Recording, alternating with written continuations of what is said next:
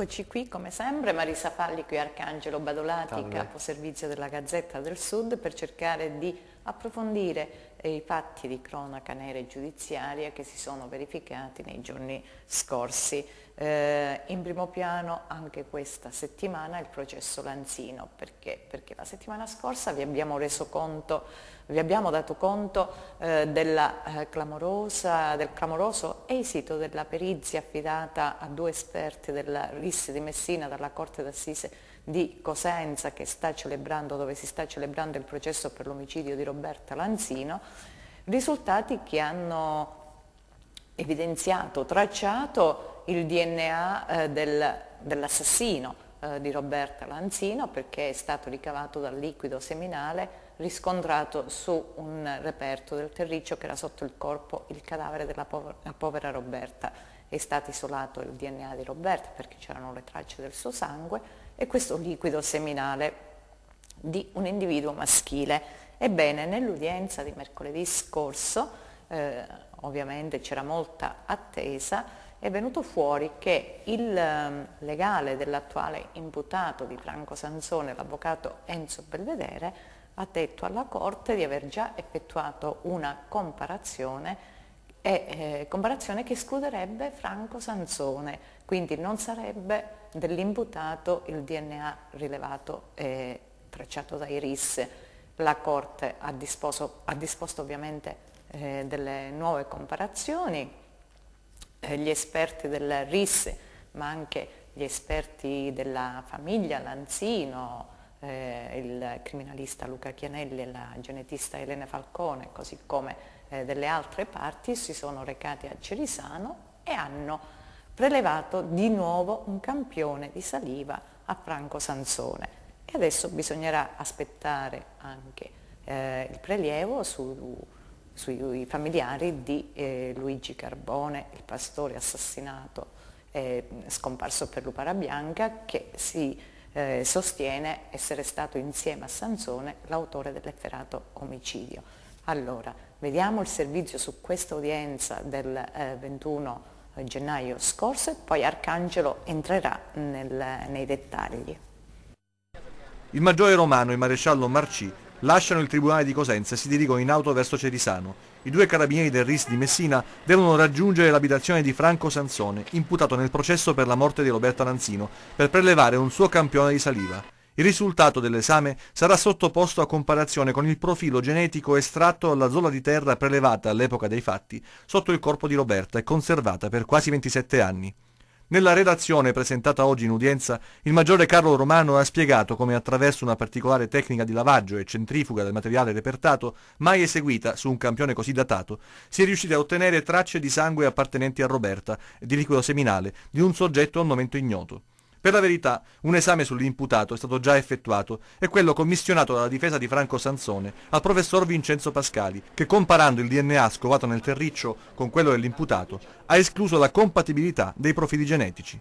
Lo ha rivelato l'avvocato Vincenzo Belvedere durante l'udienza dinanzi alla Corte d'Assise presieduta dal giudice Antonia Gallo, dando immediata disponibilità a ripetere l'esame questa volta su richiesta della Corte. Non basta, l'esame sarà compiuto anche sui familiari in linea verticale di Luigi Carbone, il pastore scomparso nel nulla, presunto complice di Sansone nell'omicidio. Padre, madre e figli dell'uomo contribuiranno a stabilire la presenza o l'assenza di un nesso del proprio familiare con lo stupro e l'omicidio. La prossima udienza, fissata per il 4 febbraio, sarà utile per completare i prelievi. Nei 30 giorni successivi si conosceranno gli esiti degli esami che in un senso o nell'altro metteranno fine a questo processo. Vi è a distanza di tanti anni una, un reperto sul quale viene rinvenuta una prova scientificamente determinante e quindi voglio dire eh, naturalmente come parte civile siamo fiduciosi e attendiamo l'accertamento della verità, come peraltro la famiglia ha sempre fatto. Considerato che eh, questo omicidio nella sua ricostruzione si eh, collega a due persone, per noi è assolutamente importante che eh, tutti gli esami vadano nella direzione di accertare tutto il possibile su entrambi gli imputati. Restano i dubbi e l'amarezza per il tempo perso, per i tanti elementi sfuggiti a chi avrebbe potuto accelerare la scoperta della verità, evitando un calvario ai protagonisti di questa vicenda. È vero, la scienza e la tecnologia hanno permesso di raggiungere oggi questi risultati, ma che fine hanno fatto, ad esempio, I tamponi vaginali analizzati già nell'88, che da Bari viaggiarono verso Roma, arrivarono poi a Londra e di nuovo in Italia per svanire senza offrire informazioni utili. È uno dei tanti interrogativi di una storia che per troppo tempo è rimasta senza soluzione. Arcangelo, dunque dopo 26 anni un altro colpo di scena, di scena perché la volta scorsa l'individuazione del DNA, adesso il fatto se sarà confermato che quel DNA non appartiene a Sansone, anche se eh, bisogna eh, aspettare l'altra comparazione. Ma ancora è, diciamo, il caso è assolutamente aperto, sappiamo che secondo la perizia della difesa quel DNA repertato nel grumo di terriccio eh, prelevato all'epoca del fatto, al momento del ritrovamento del cadavere sotto la testa di Roberta Lanzino, è un DNA non compatibile con quello di Franco eh, Sansone. Gli stupratori di Roberta Lanzino erano due, secondo la ricostruzione della Procura di Paola eh, questi due sarebbero stati Franco Sansone e Luigi Carbone. Luigi Carbone già complice di Franco Sansone in un delitto per il quale eh, entrambi vennero condannati con sentenza eh, definitiva e poi sparito per l'opera bianca. L'unico modo per capire se quel DNA che secondo la difesa non è di Sansone è o meno eh, invece di Luigi Carbone è prelevare il DNA dagli ascendenti e dai discendenti, cioè dai genitori e dal figlio di quest'uomo.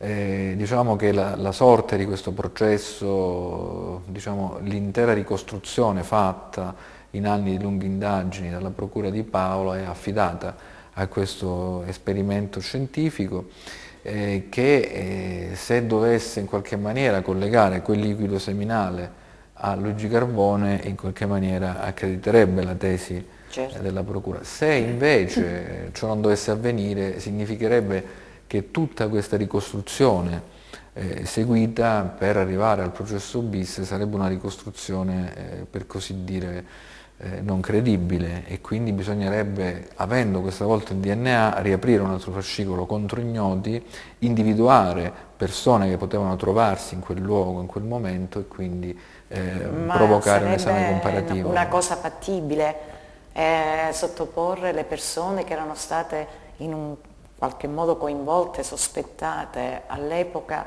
sottoporle adesso al DNA no. eh, fare, andare a strascico, insomma. No, non è possibile no. perché c'è diciamo, un principio del nostro ordinamento che è la possibilità di procedere alla revisione di un processo, mi riferisco al processo istruito contro i cugini Frangella, imprenditori all'epoca arrestati, processati e assolti con sentenza definitiva, è possibile ottenere la revisione di un processo solo pro bona partem, cioè significa solo per favorire, in favore dell'imputato, non nel contrario. Quindi ammesso che qualcuno potesse, in questa remota ipotesi che quel eh, DNA, quel liquido seminale non siano riconducibili a Luigi Carbone, se qualcuno volesse compiere accertamenti sui frangeli non potrebbe farlo perché non è previsto eh, un nuovo processo per lo stesso fatto, cioè il nostro ordinamento non lo prevede. Bisognerebbe guardare ad altri eh, personaggi eh, su quella scena, ricostruire tutto. tutto Io, mm, diciamo, no? È molto complicato per il trascorrere del tempo. Ci sono atti che confermano la presenza di varie persone in quella zona, è impossibile eh, dopo 26 anni eh, rifare le indagini lì perché non troveremo certo. più nessuno, nel senso che è davvero deviso, no? impossibile individuare presenze sulla scena del crimine eh, e tuttavia la cosa che più eh, mi addolora eh, come giornalista, come cittadino, eccetera, è mh, la sottoposizione al dolore costante dei genitori di Roberta Lanzino, che sono Franco e Matilde e naturalmente anche dei loro figli, ma loro due in particolare che portano a stimmate di questo Infatti. delitto e che si sono ricatapultati in un processo dopo la delusione del primo, in questo nuovo processo, riaffrontando udienze, risentendo la storia della loro figlia in aula, riascoltando parole e testimonianze alcune testimonianze che non avevano mai sentito, sentendo collegare altri delitti, la morte per strangolamento di Rosaria Genovese, una donna che venne strangolata e uccisa, insomma, a buttata in un pozzo da Franco Sansone, il quale è stato per questo condannato con sentenza definitiva, c'è una serie di cose che hanno messo la morte dei loro figli in un contesto addirittura molto più ampio di crimini. E allora il pensiero vero, eh, questo lo dico davvero da giornalista perché ho seguito questo caso dall'inizio, eh, va allora queste due persone che tra l'altro sono un esempio di come bisognerebbe vivere, cioè hanno ricevuto un male terrificante che è eh, l'uccisione in quel modo della figlia e poi anziché eh, perdere fiducia nella vita, essere rancorosi con tutto il resto del mondo, questi due genitori affranti hanno dedicato tutta la loro vita al bene, alla costruzione di centri per assistere le donne, a progetti nelle scuole per combattere la violenza sulle donne e sono testimoni viventi di come il bene possa trionfare sul male. In questa vicenda di Roberta Lanzino, ecco un'altra osservazione personale, eh, non professionale, personale, e come l'ho già detto in altre occasioni, è come se il diavolo ci avesse messo lo zampino, perché preso il, il liquido seminale durante il ritrovamento del cadavere, questo liquido seminale viene in parte compromesso, poi smarrito, i vestiti vengono smarriti, ritrovati e rismarriti, cioè come se una serie di cose non fossero al loro posto, perché se avessimo oggi i vetrini che non si sono più trovati allora di che... quel liquido seminale, così come è stato possibile estrarlo dal terriccio rimasto abbandonato in un archivio giudiziario per 26 anni, sarebbe stato eh, naturalmente estratto anche da quei vetrini, invece quei vetrini sono scomparsi, insomma un disastro, per cui... Mh, Ma infatti anche i RIS in, aula hanno ricostruito e hanno rimarcato purtroppo queste deficienze volute, non volute, eh, questa superficialità investigativa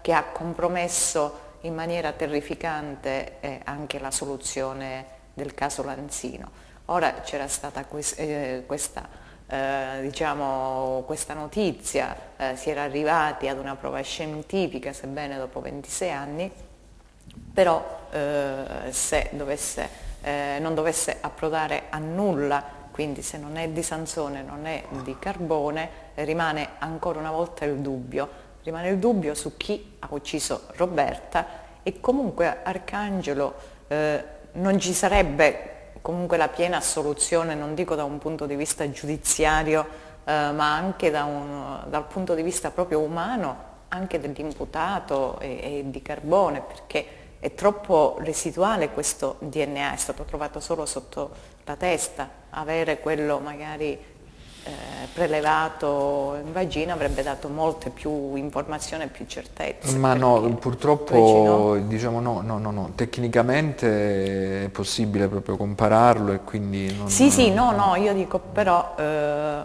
magari essendo state due persone si può avere solo quello Vabbè, quello uno, che è stato trovato, cioè tra l'altro sotto trovato, la testa. Eh, quello sotto la testa, per cui già si immagina una modalità diversa mm, anche di certo. violenza sessuale, per cui, per cui rimane comunque una zona d'ombra e rimangono dubbi e interrogativi. Noi non vogliamo un colpevole a tutti i costi, ma ci sarebbe piaciuto e ci piacerebbe eh, che ci fosse giustizia per Roberta e per i suoi genitori. Quantomeno sapere, no? Io dico come verità infatti, storica. Infatti. verità storica. Io eh, ogni volta che guardo Franco Lanzino, a cui eh, voglio molto bene, devo dirlo con grande sincerità, perché è una persona veramente... Tante persone gli vogliono lui bene. e Matilde sono persone che io ho conosciuto appunto in questi anni di lavoro, seguendo questa vicenda, ma anche tutto quello che fanno, quindi persone a cui sono davvero affezionato e quindi Ecco, ogni volta che lo guardo mi ricordo di Pio Rontini, di, di, del signor Rontini, che era il papà di Pia Pia. Rontini, che era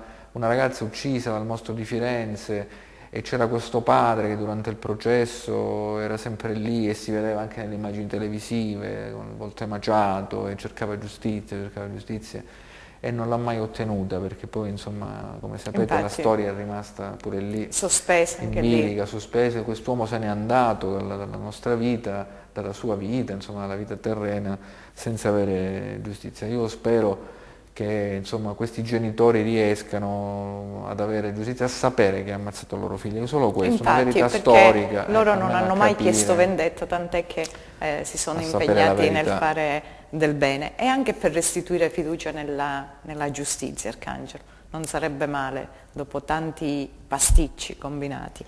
Allora, un altro caso che è balzato addirittura all'attenzione nazionale quello delle truffe alle assicurazioni, un giro, un meccanismo perverso scoperto dalla Polstrada di Cosenza, dalla Guardia di Finanza, inchiesta coordinata dalla Procura di Castrovillari. Ebbene, non sarebbe nulla di nuovo e di eclatante se ci, ci si fosse limitati ad accertare semplicemente le eh, truffe per uh, falsi incidenti o la richiesta di certificati per false invalidità. Sono purtroppo routine questi reati, ma questa inchiesta ha portato alla luce dei casi veramente sconvolgenti come addirittura lasciar morire un neonato per poter avere un risarcimento facendo eh, apparire il, la nascita prematura effetto conseguenza di un incidente, di un simulato incidente stradale. Beh, una cosa raccapricciante che ha fatto inorridire anche gli inquirenti che sono abituati a vedere eh, delle cose sicuramente truci e barbare. Vediamo i servizi e poi approfondiamo. Una storia che ha dell'incredibile, sembra piuttosto la trama di un film dell'orrore, eppure è accaduta a Corigliano Calabro. Una madre ha partorito un bimbo di sette mesi solo per perpetrare una truffa ai danni di un'assicurazione. Lei è una donna di 37 anni, già madre di un altro bambino. Grazie ad alcuni amici e a medici compiacenti si è presentata in ospedale con il bimbo ancora legato a lei dal cordone ombelicale, affermando che il parto era avvenuto a seguito di un incidente. Ma l'incidente non c'era era mai stato. Ai domiciliari sono finiti la madre, due suoi complici e un medico. Altre tre persone sono indagate, tra cui un'avvocatessa. L'infanticidio venne contestato perché il feto è stato accertato che quando è nato era nato vivo e gli sono stati privati qualsiasi tecnica di, di, di, di animazione per salvarlo. Paradossalmente questa operazione eh, doveva essere denominata horror oppure pecunia non olet perché per i soldi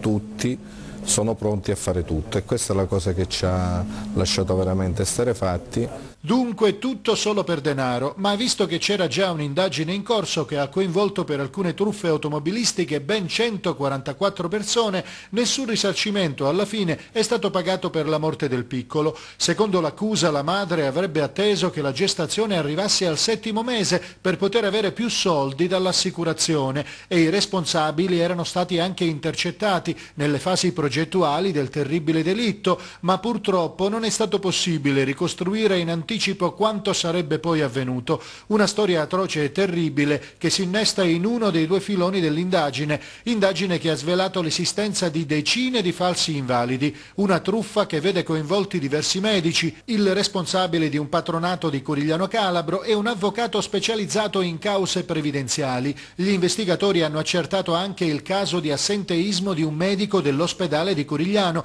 il quale pur risultando in servizio nel nosocomio, in realtà era casa a guardarsi le partite di calcio. Gli inquirenti hanno scoperto che, oltre alla centrale di Corigliano Calabro, le truffe venivano perpetrate anche in un ambulatorio di Mesoraca. Venivano certificate malattie e visite inesistenti e venivano utilizzate lastre e referti appartenenti a persone davvero ammalate per ingannare le assicurazioni. Nel complesso scoperte truffe per un ammontare di circa 2 milioni di euro. I medici venivano pagati a percentuale, anche con cifre non elevate tra i 50 e i 300 euro. L'indagine è ancora in corso e ci sarebbero altri gravissimi casi di tentativi di truffe assicurative, ma su questo si mantiene il più stretto riservo.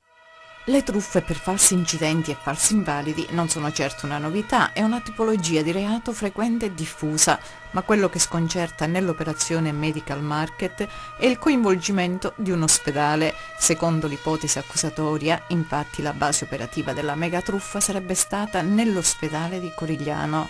Qui medici, tecnici di laboratorio, radiologi compiacenti, tradendo clamorosamente il giuramento di Ippocrate, avrebbero redatto o avallato certificati visibilmente falsi, arrivando persino a mettere delle radiografie di pazienti realmente malati nei fascicoli da presentare alle assicurazioni o all'Inps per ottenere l'invalidità.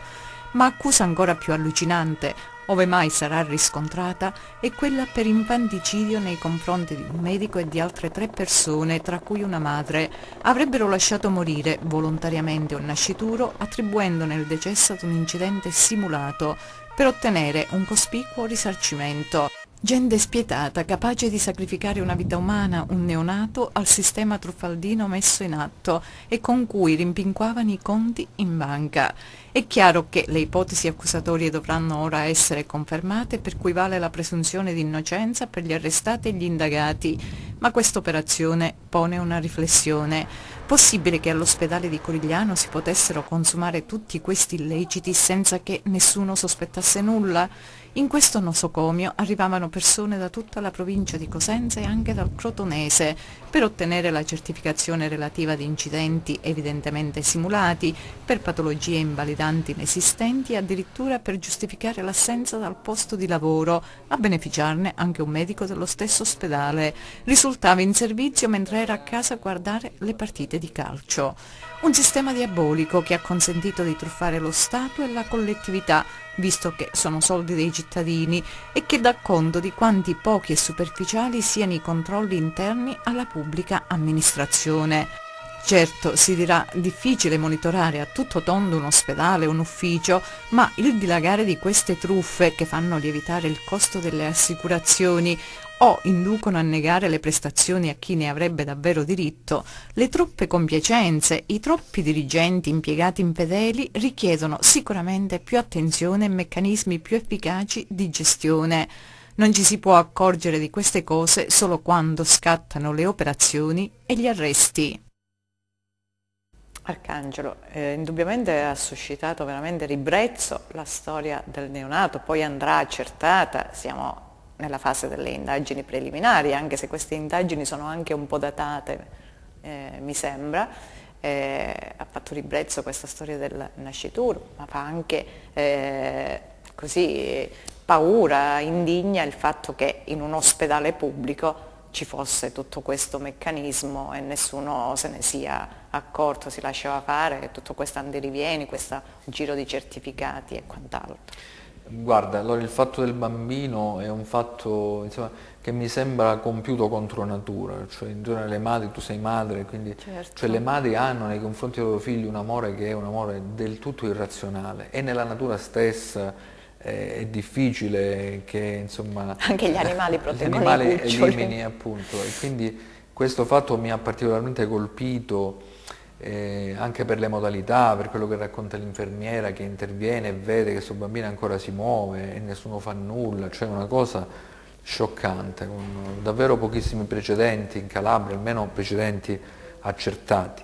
Eh, il sistema invece è un sistema collaudato che abbiamo visto in altre occasioni, in altre indagini, ed è un sistema che prevede persino eh, come dire, il gioco sporco nelle cause, perché quando l'Inps eh, ti rigetta la richiesta di invalidità civile, di riconoscimento di invalidità civile, tu intenti una causa, in questa causa poi produci certificati che sono falsi, quindi certo. eh, questo sistema in qualche maniera sporca, condiziona eh, complessivamente il meccanismo no? anche giudiziario, quindi eh, fa piacere vedere che sia stato eh, scoperto, ma insomma invito davvero eh, a, a, tutti a guardarsi intorno perché credo che sia un sistema purtroppo eh, molto diffuso e spaventa poi se dire, quello che è prospettato dalla pubblica accusa otterrà riscontro in dibattimento e quindi poi sarà definitivamente legittimato da una sentenza eh, di Cassazione, insomma spaventa, fa impressione vedere medici che fanno infatti, queste cose perché davvero infatti, è un tradimento che, della, di tutto, cavolo, morale, verso se stessi. Per qualche centinaio di euro, insomma, è una cosa veramente vergognosa. Ci fermiamo, c'è la pubblicità e poi di nuovo in studio per commentare altri fatti, altre inchieste.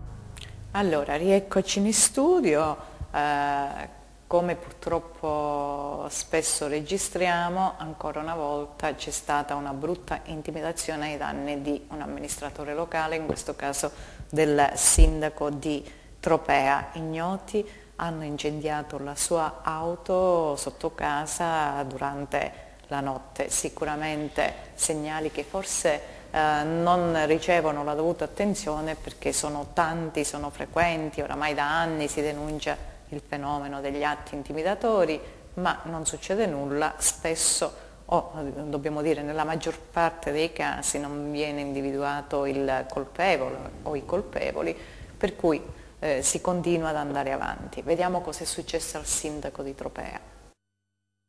A Tropea tornano a parlare le bombe, torna l'incubo attentati. La notte scorsa un tremendo boato avvertito in tutta la cittadina ha squarciato la quiete della notte. Le fiamme si sono sprigionate alte e minacciose nell'oscurità.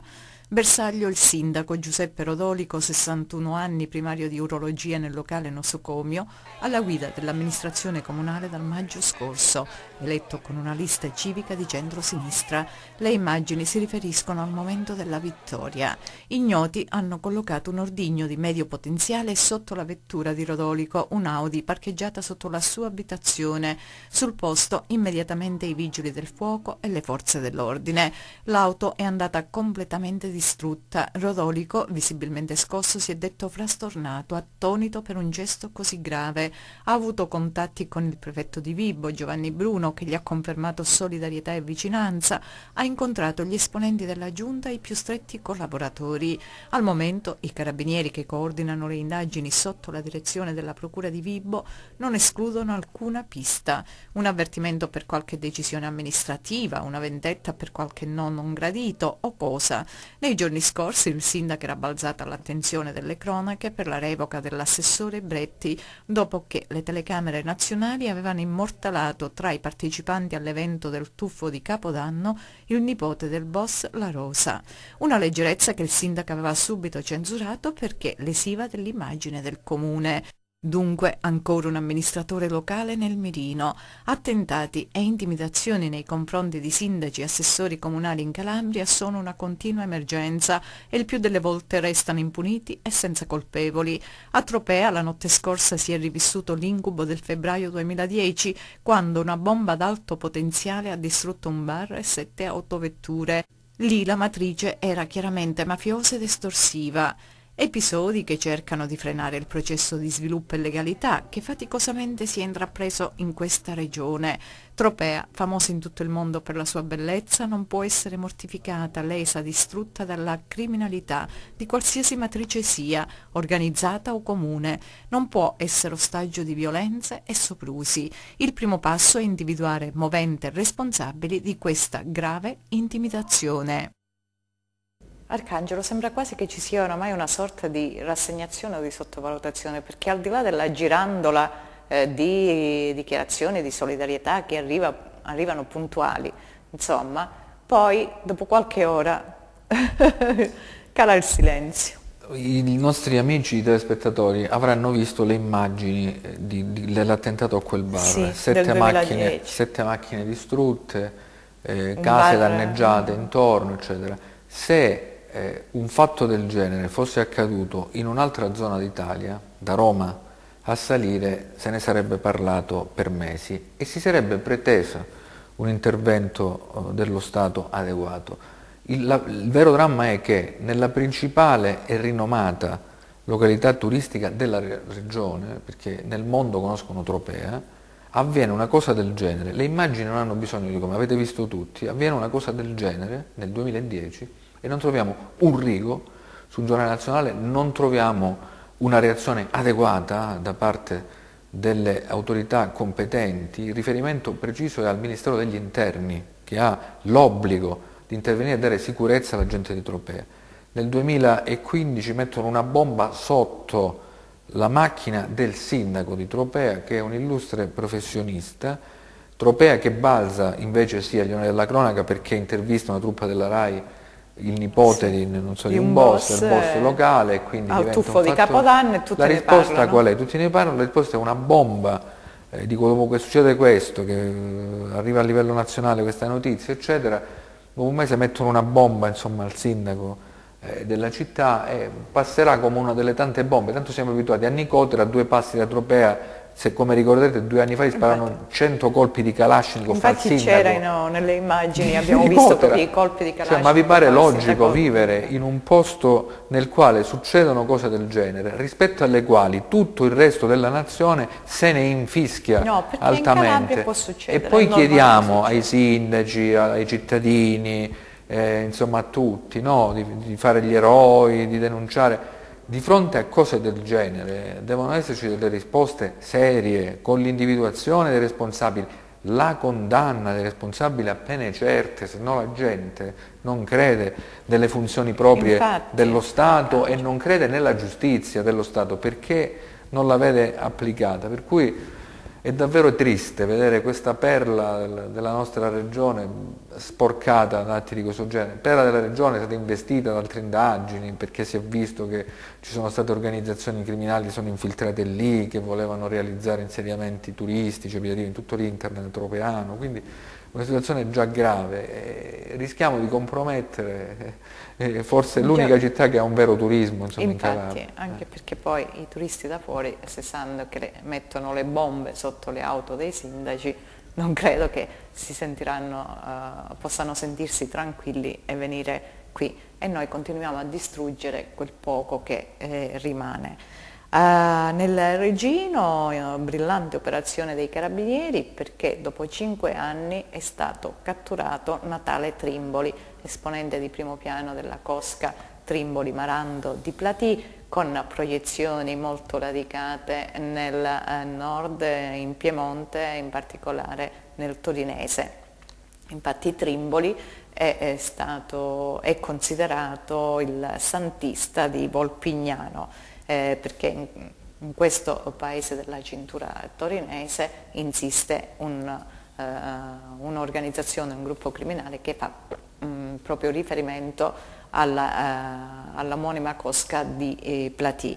Natale Trimboli si nascondeva in un appartamento, questa è stata un'indagine davvero da manuale, i carabinieri avevano avuto qualche sospetto e lo hanno beccato, fa parte di una famiglia molto nota, i fratelli sono stati arrestati negli anni scorsi e insomma vediamo il momento della cattura. Si nascondeva nel Regino Natale Trimboli, considerato elemento di spicco della cosca Trimboli Marando di Platì, ricercato dal 2010. Si nascondeva in un appartamento a Molocchio, Trimboli, inserito nell'elenco dei 100 latitanti più pericolosi ricercato anche in ambito internazionale, era stato condannato nell'ambito del processo Minotauro che aveva fatto luce sul ruolo delle Endrine in Piemonte.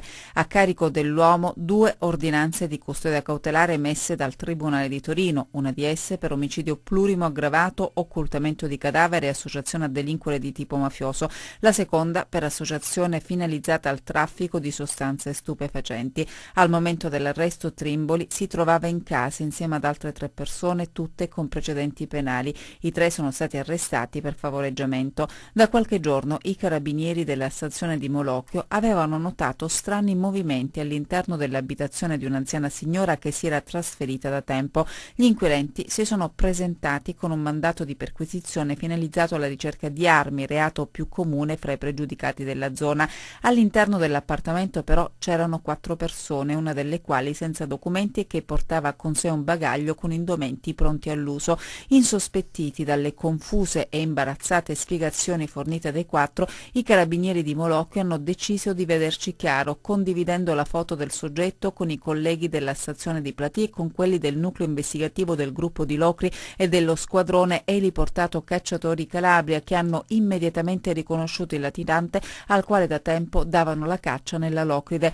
Vistosi scoperto e non avendo alcuna possibilità di fuga, Trimboli ha così confessato la propria effettiva identità, senza opporre quindi alcuna resistenza all'arresto. Allora, Natale Trimboli, Arcangelo, è, è stato condannato all'ergastolo per il triplice omicidio di Antonio Antonino Stefanelli e di Franco Mancuso di cui ci siamo occupati più volte anche noi quando abbiamo eh, parlato dell'inchiesta e poi del processo Minotauro e dell'andrangheta in eh, Piemonte. Quindi era questa la condanna più importante che... Sì, Trimboli è il cognato di Pasqualino Marando che è della omonima famiglia, un punto di riferimento che è scomparso per l'Opera Bianca e che era, è stato uno dei più grandi narcotrafficanti di droga operanti tra il nord Italia diciamo, e il Sud America.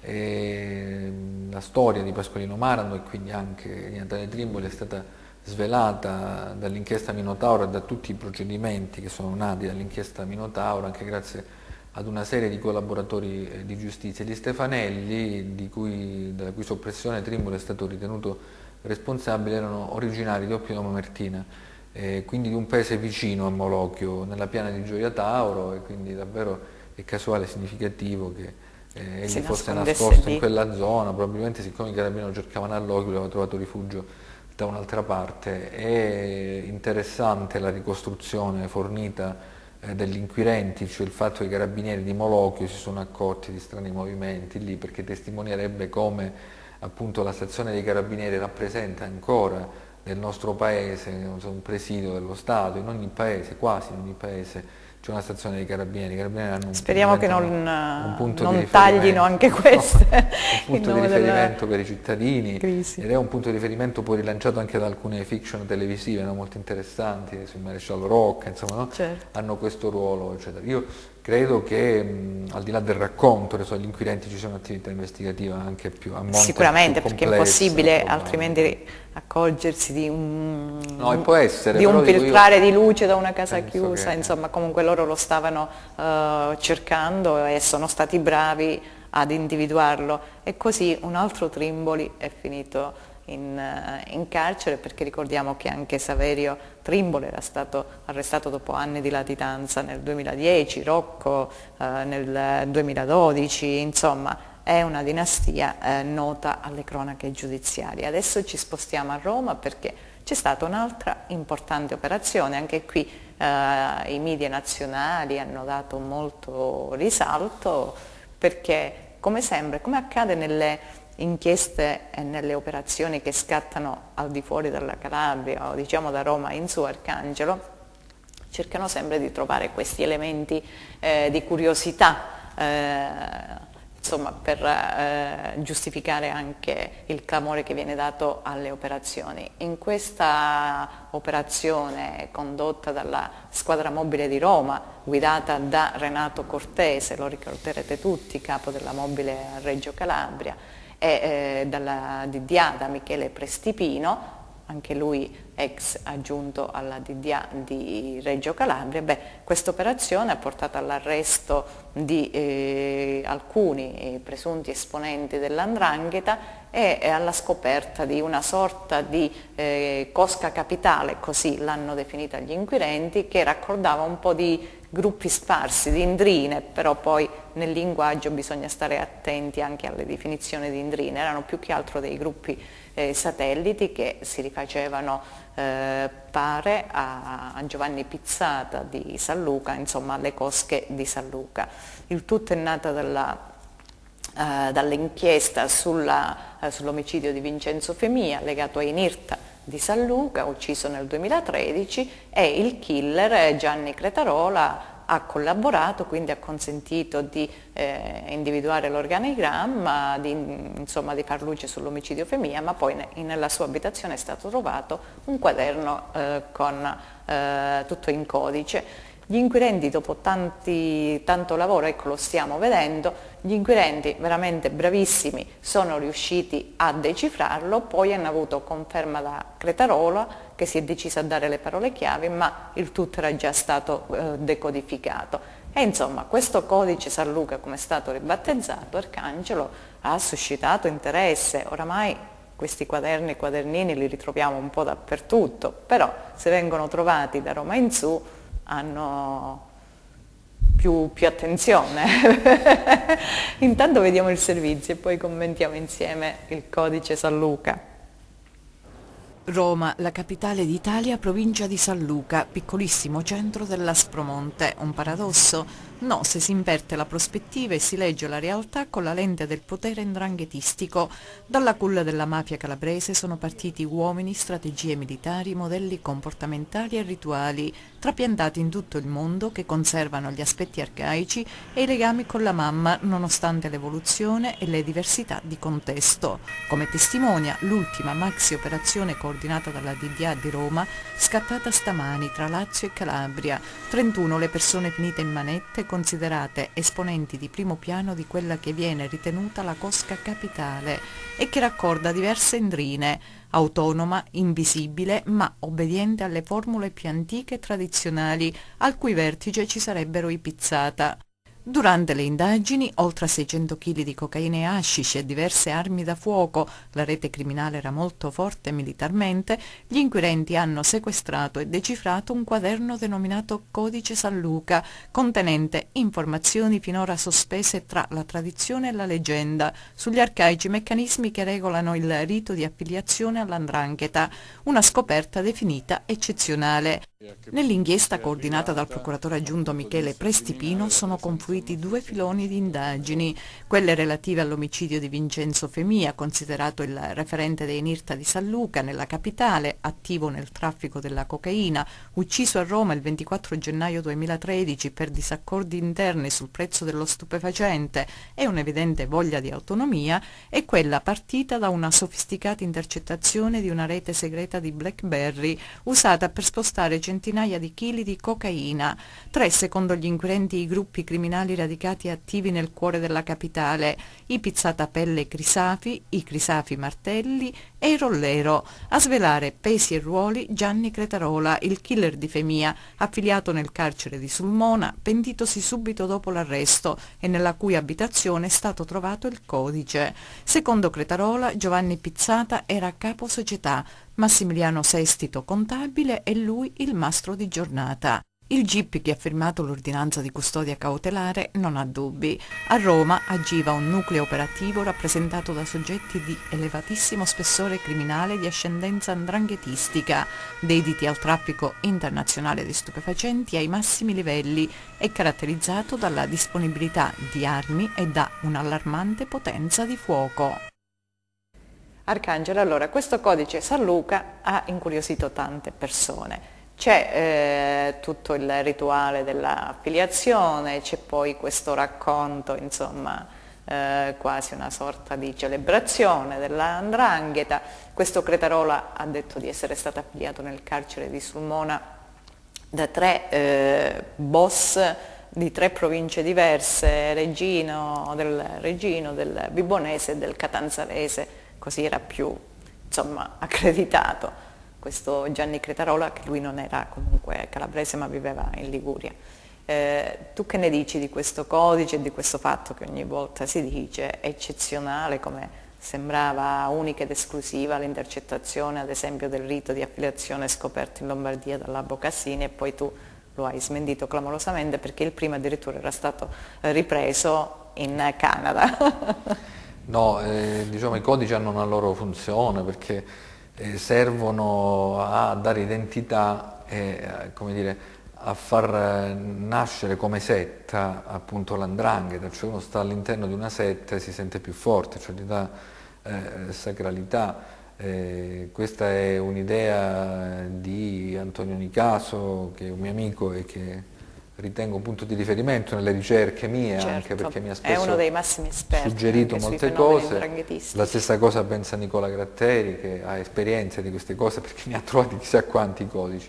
Questo codice di Roma non è un codice nuovo, è il codice dell'anno scorso. Cioè sì, sì, a Cretarola l'avevano già, già, sequestrato, adesso lo hanno... Cretarola poi... che dice di essere, non, insomma, sì. di, avere un ruolo, di essere stato Cretarola, io non l'ho mai, io non l'ho mai sentito nominare, cioè, l'ho sentito nominare per un omicidio, è uno che è stato utilizzato perché quando era ragazza aveva accoltellato uno in Liguria da dove veniva, è stato preso in carcere, utilizzato per fare questo omicidio. Poi, vogliamo trasformare Cretarola in un boss mi sembra una cosa esagerata, io non l'ho mai sentito nominare, l'ho sentito nominare in occasione dell'omicidio di Vincenzo Femia, fatto per il quale è stato arrestato, che non fosse un boss lo testimonia la circostanza che dopo due mesi di carcere si è messo a collaborare con la giustizia, quindi è uno che un manovale che eh, fa un certo. delitto, eccetera. Interessante il fatto che suggerisce, poi questo documento viene trovato, l'esistenza di un codice eh, alfanumerico che serve per non far capire agli inquirenti che trovano documenti quello che c'è contenuto. Naturalmente gli inquirenti che hanno strutture di alto livello di, decriptazione hanno in pochi giorni decriptato, decriptato il significato di queste cose e ce l'hanno svelato. Colpisce semmai il fatto appunto dell'interesse che le organizzazioni criminali calabresi, e questo è confermato dall'inchiesta di Michele Prestipino, alla quale ha preso parte un magistrato che conosciamo che ha lavorato in Calabria, si chiama Francesco Minici, che oggi è la DDA di Roma, e eh, fa specie, fa pensare il fatto appunto che le cosche in generale eh, si siano riversate su Roma, cioè che eh, dicessero i suoi compari, in particolare Massimiliano Sestito, eh, che è originario del Soveratese, Cretarola, che insomma Roma era un posto dove si potevano fare tanti certo. soldi. Anche questa tuttavia non è una cosa nuova, perché sappiamo di questa ingerenza mafiosa, camorristica, eh, eh, di Cosa Nostra Siciliana sulla capitale da almeno 30 anni. Questa inchiesta ci dice che è ancora così e che quindi sì. un mercato di 6 milioni di persone, chi gestisce anche una fettina del mercato della droga chiaramente tende ad arricchirsi. Qui eh, l'organizzazione di cui faceva parte Gianni Cretarola è un'organizzazione legata a, a Cosca della Locride che aveva pensato di impossessarsi di una parte del mercato dello smercio dell'eroina e delle droghe leggere. Vincenzo Femia voleva agire per conto suo Infatti e per questo c'era uno scontro sul prezzo eh, della, esatto. dello stupefacente, comunque ci restituisce una rete perché una, ci sono tutti questi gruppi ma non ci sono delle cosche eh, comunque organizzate come le intendiamo noi, infatti gli inquirenti parlano di questa cosca capitale come una sorta di raccordo tra eh, questi eh, vari gruppi Arcangelo. Certo eh, si sa che eh, Roma è terra di conquista da sempre, non solo per il mercato eh, ampio per la vendita, lo spaccio di stupefacenti, ma abbiamo visto anche per il riciclaggio, quanti immobili sono finiti nelle mani dell'andrangheta, anche eccellenti e quant'altro. Poi, tra l'altro, nei giorni scorsi c'era stata un'altra operazione a Roma ed era stato scoperto che il monopolio dei fiori in uno dei cimiteri più importanti della città era in mano a dei eh, calabresi, a tre calabresi appartenenti ad un uh, gruppo ndranghetistico. È, che, è, è, diventata quasi eh, la normalità. Normalità. C'è da dire che oggi eh, la magistratura e le forze investigative nella capitale sono eh, diciamo, composte da uomini che conoscono l'andrangheta, perché il Infatti, procuratore capo sul Pignatone era il procuratore capo Abbiamo una trasposizione. Il procuratore aggiunto Michele Prestipino ha fatto cose egregie in Calabria, quindi era in Calabria. Certo. Renato Cortese era il capo della squadra mobile a Calabria. Ci sono ufficiali del Rosso molto bravi che sono stati in Calabria, quindi c'è dire, la eh, rete diciamo, in grado di smantellare, disarticolare le proiezioni dell'andrangheta nella infatti capitale. Infatti anche queste conoscenze, queste competenze acquisite eh, in Calabria, Arcangelo, eh, sono emerse con clamore a Roma perché loro eh, hanno gli strumenti eh, per poter decifrare, individuare, guidare le, le indagini perché certo. da quando è andato Pignatone a Roma c'è stata veramente un'accelerazione sul fronte criminalità organizzata, non solo per quanto riguarda l'andrangheta, ma abbiamo visto anche l'inchiesta di Mondo di Mezzo eh, con la mafia capitale. Bene, anche per oggi abbiamo esaurito il tempo a nostra disposizione, ringraziamo Arcangelo Badolati, caposervizio della Gazzetta del Sud, ringraziamo Luca Chito, ringraziamo voi, potete rivederci sul nostro sito, su Teleeuropa YouTube e ci vediamo comunque la prossima settimana. Arrivederci.